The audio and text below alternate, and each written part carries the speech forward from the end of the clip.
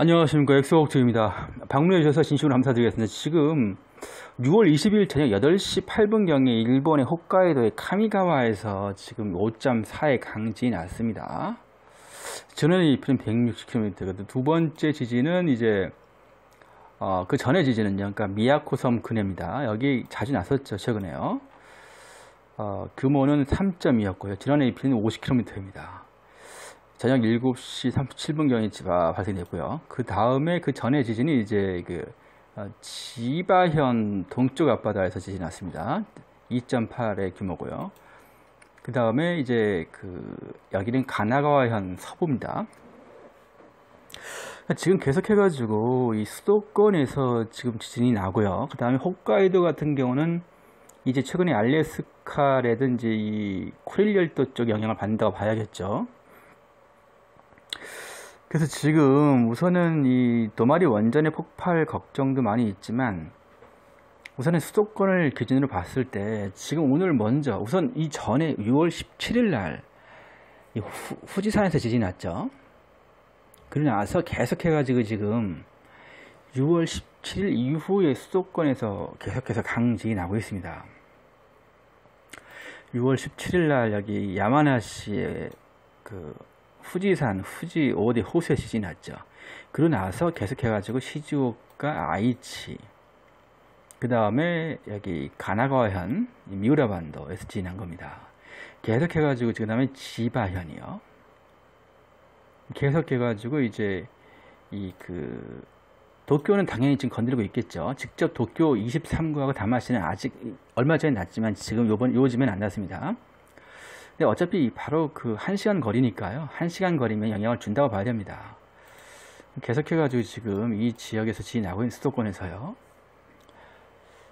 아, 그래서 오늘 첫 번째 지진은 이제 가나가와 현의 지진이었고요. 어, 그리고 이제 이 두 번째 지진은 말씀을 드렸듯이 지바현. 그러니까 이제 이 가나가와에 있던 지진이 이제 가나가와에 있던 지진이 이제 지바로 간 겁니다. 지바로 움직였다, 이동을 했다는 얘기입니다. 이렇게요. 지바 이동을 했고요. 그 다음에 이제 세 번째 지진이 이제 미야코 섬. 이거는 다시 이제 그 셋업을 좀 맞추고 있는 겁니다. 이쪽에 이제 오키나와 쪽에서 다시 또 치고 올라오기 위해서 다시 또 올라오기 위해서 이렇게 움직이고 있는 거죠. 그래서 이제 그 이, 런 경우를 항상 경험을 했지만 이 마리아나 법칙, 이 마리아나 오가사와라 뭐 치치지마라든지 이지대 하치저지마 같은 곳에 과밀이라든지 지진 상황을 봐야 됩니다. 왜냐하면 다시 지금 대만으로부터 또 치고 올라오는 상황이기 때문에 대만에 6월 18일까지 얼마 전에 그 지진이 있었죠. 오늘 우리가 그 오후 방송에서 하지만 대만에서 이렇게 되면 지진의 확률이 높아집니다. 그래서 그 6월 20, 20일하고 21일, 아, 6월 20, 21일 대만에서 지진의 확률이 높고요. 지금 그 다시 이제 그 구마모토로 치고 올라올 겁니다. 도카라 열도를 해서요.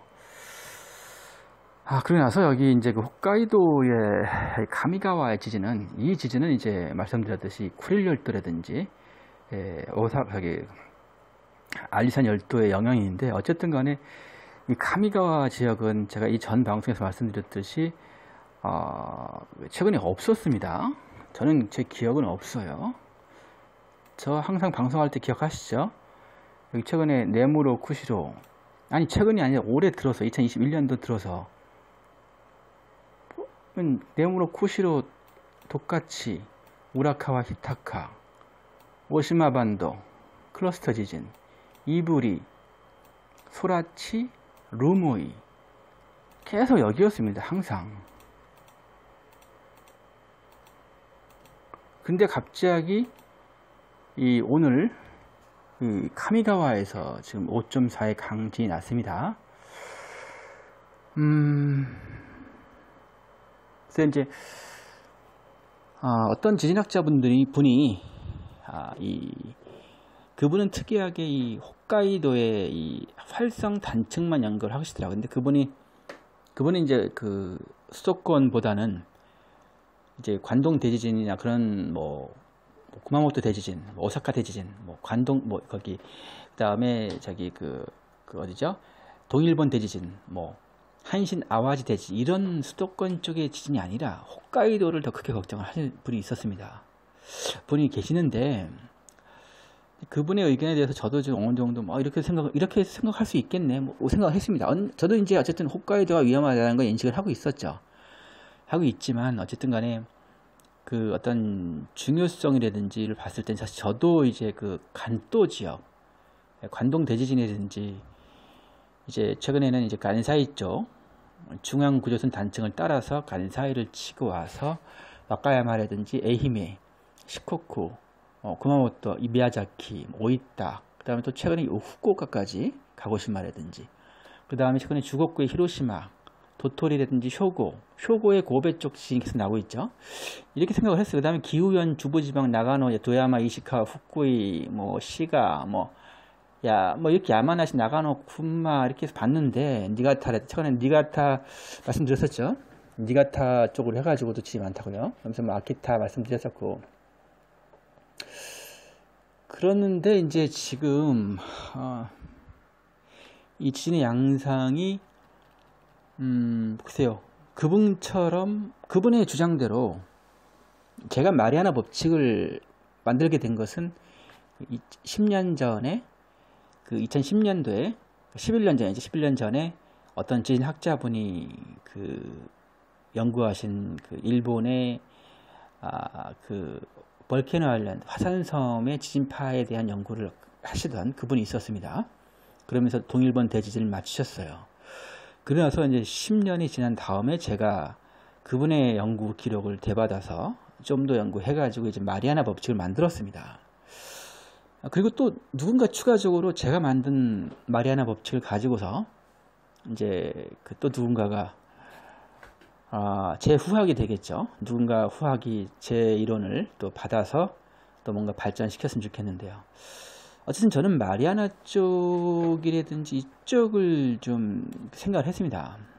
했는데 어쨌든 이 지금 이 홋카이도 쪽으로 이, 이분의 이분의 의견대로라면은 또 새로운 저도 사실 이 홋카이도 쪽을 연구해 보고 싶은 생각은 있어요. 뭐 좀 새로운 이론을 또뭐또 나타날 수 있는 거고 홋카이도 쪽의 대지진이 일본 전체 일본 열도를 침몰시킬 수 있다. 그뭐그좀 그분의 이론입니다. 한 한 지진학자분의 이론이에요. 홋카이도의 대지진이 일본 전, 열도 전체를 침몰시킬 수 있는 것이고 아, 아, 그 가장 이제 얼마지 않아서 발생할 확률이 높다. 홋카이도의 지진이 강 대지진이 그런 의견을 내신 분이 계십니다. 그럼 그래서 또 이 말씀도 드리고 싶네요. 항상 어, 어떤 누구의 의견이고 어떠한 그것이 하나의 뭐 팩트이든 그냥 이 의견이든 그냥 생각이든 그냥 던지는 말이든 그게 무슨 일원화되고 하나의 정립화된 뭐 어떤 그런 것이 어떤 어떠한 학설이 될 수 있는 것이든 아니면 학설이든 아니면 뭐 논문에 있는 이야기든 그냥 던지는 말이든 어쨌든 어떠한 말이든지 그냥 그 이렇게 무시해버리면 안 됩니다. 저는 그렇게 생각해요.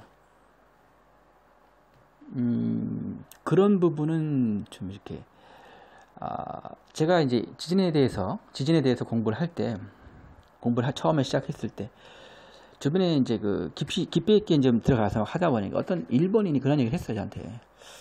아, 너의 의견을 참 공감하는데 왜 그렇게 생각하는지 좀 듣고 싶다. 일본에 대한 비판을 해도 근데 친일파 분들은 어떻게 반응했냐면은 아 뭐야? 왜 그런 쓸데없는 얘기들을 하지? 전문가인가? 이런 식으로 나온 거죠. 그러니까 무슨 얘기냐면은 아 이렇게 그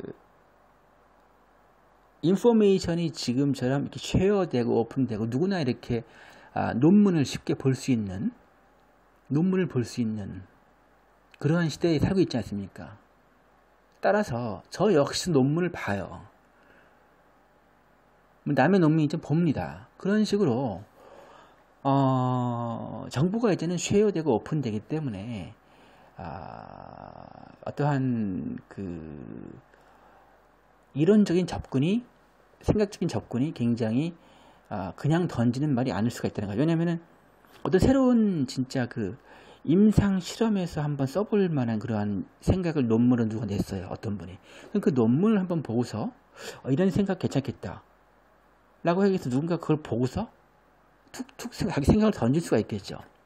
근데 그건 최신의 업데이트된 정말 논문 정보를 본 거잖아요. 임상 실험의 어떤 그런 논문의 이론을.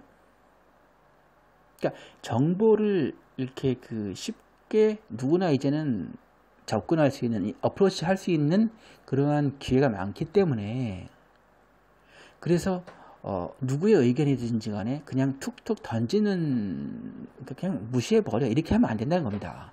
그래서 저는 그래서 우선은 제가 얘기하고 싶었던 건 뭐냐면 일본인들을 보니까 이렇게 그 작은 하나의 그러니까 그 여러 가지 인포메이션에 대해서 인포메이션에 대한 갈구심이 강하더라. 정보에 대해서 새로운 것에 대해서 그딴 얘기죠.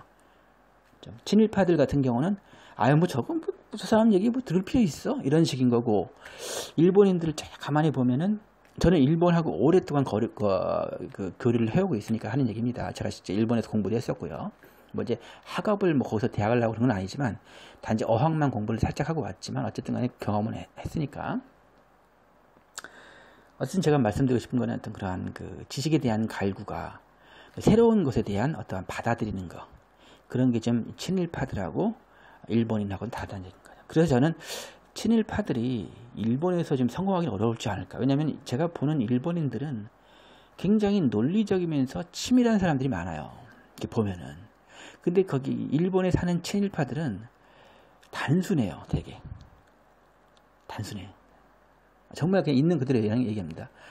감정, 그러니까 감정적이고, 아, 쉽게 흥분하고, 아, 좀 이렇게 그 나한테 듣기 싫은 얘기는 안 들으려고 하고 가장 안 좋은 거죠. 그런 것이 강해요. 보면 친일파들은 일본에 사는 친일파들, 한국에 사는 친, 친일파들도 마찬가지고요. 근데 일본인들은 안 그렇다는 얘기예요. 제가 무슨 일본을 칭찬하자고 하는 건 아니고, 어쨌든 제가 봤을 때는 일, 오리지널 일본인들과 아, 일본에 사는 그 친일파들과는 좀 경쟁 자체가 안 될 것이다라고 봅니다. 근데 이제 친일파가 아니고 정말로 대한민국도 사랑하면서 일본에서 어, 살고 있는 그런 분이라면 좀 다른 얘기죠 이거는 양쪽에 아, 한국과 대한민국과 일본의 장점들을 다 가지고 있는 분이니까 그런 분들은 이제 일본에서 성공할 수 있겠죠. 하지만 일방적인 그 친일파들은 아유 성공은 불가능합니다.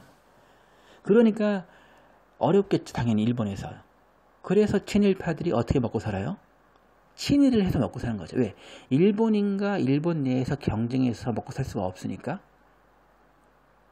한국을 까면서 먹고 사는 거죠. 우익들한테 야, 나 한국 깠어. 나 얼마 좀 줘.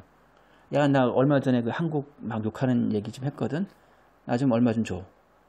이런 식으로 이제 그 뭐라고 해야 되나? 그뭐 떡과물이나 먹고 사는 거겠죠. 그 친일파들은 수준 자체가 그러니까 대화할 만한 그런 값어치도 없는 사람들, 그 사람들은.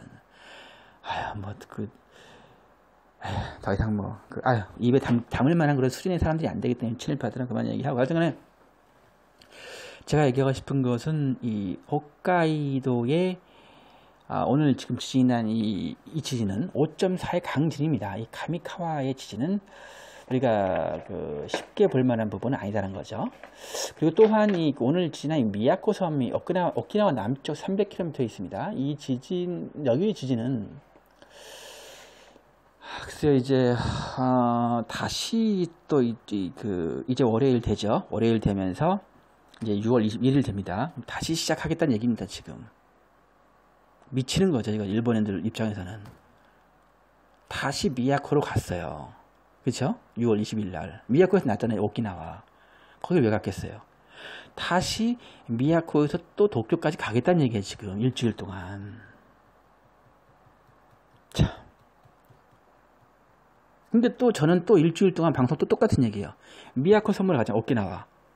그러니까 또 이제 어떻게 되겠어요? 대만에서 또 지진 나겠죠. 뻔한 거 아닙니까? 항상 그랬잖아요. 뭐 오늘이나 내일 이제 그 새벽이 오늘 저녁이나 뭐 20일이나 내일 새벽 21일 날 뭐 하여튼 이 지진 날 겁니다. 미야코에서 났으니까. 그러고 나서 또 이제 그 저 어디야 연합군이 치겠지 당연히 항상 그랬잖아요 연합군이. 죄송합니다. 그 연합군이 오키나와 현보다 더 거기 오히려 일본에 더 가까운 연합군이 일본에. 그래서 또 이또만 낮에 뭐 저기 리쿠 아일랜드 또 저기 어디야 도카라 치고서 수원원 세지마 화산 폭발. 뭐 그쪽 그러고 나서 또 큐슈로 올라오고 해서 또 사쿠라지마 화산 폭발. 그러면서 뭐 또 뻔하죠 뭐. 가고시마 지진 구마모토 미야자키 오이타 요번에는 후쿠오카만 칠 수도 있어요 제가 볼 때. 그러고 나서 또 이제 그 시코쿠 또 치겠죠. 그러면서 뭐 이제 가가와 요번에 에임에 쳤으니까 카가와나 고치 도쿠시마 칠 수도 있고요. 그래서 와카야마를 칠 겁니다 아마 기이스도나.